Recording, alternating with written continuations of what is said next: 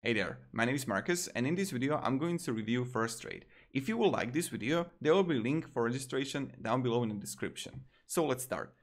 What I love about Firstrade is that you have free ETF, free stock and options trading. And now there's a question, how can it be free? It's because they are taking interest out of the account balance that you have in your account. So they are not like cheesing you that they are going to take commission there, commission there, and it's really good. But what I don't actually like about Firstrade is that you can't, let me show you, you can't trade Forex, futures, CFD, and crypto. So if you're in ETF and stock, even from the long-term position and also to options or bonds or funds, go with the Firstrade. It's a really good choice. If I should compare Firstrade to other mm, brokers, Firstrade is really similar to trading 212 and it's much better comparing to plus 500 but plus 500 is focused more on cfd but that's for another talk. Now account opening okay it's full digital slow account verification. You don't have any withdrawal fee any uh, like when you want to invest money there. But Firstrade deposit options you can only go with a bank transfer. You can go with a credit debit card or electronic wallets.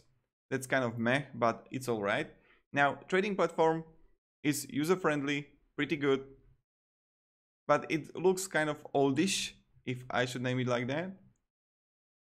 Now, when we go to the markets and products, as I mentioned, you have stock, you have ETF, you have fund, bonds, options, but you don't have futures, CFD, and crypto, so and forex. So again, stock, ETF, options, good choice. Now research, pretty good. But now, uh, also the cons is that you don't have live chat and 24/7 support, but you have phone support and relevant answers on your on site. And education, this is the one thing I don't actually like is that you don't have demo account there, and that's pretty much it. So, Firstrade has been here for a really long time. You don't have inactivity account fees, and that's good. But First, it doesn't provide credit, debit cards, and electronic wallets. If I should like compare, if I should compare to other brokers, then Trading 212, that's like on the same level. It's, in my opinion, better than eToro, uh, because on eToro you have inactivity fee and also withdrawal fee. Uh, Degiro, Degiro and trading in 212 is better in that way that you can have uh, accounts in multiple currencies. So you can have Euro, USD, or also I think uh, Hungary currency and also the Great Britain currency. And also if I should compare this to interactive brokers, then interactive brokers is much more expensive. Then you, you don't have the free ETF stocks and options. And also, but interactive brokers is much more safe.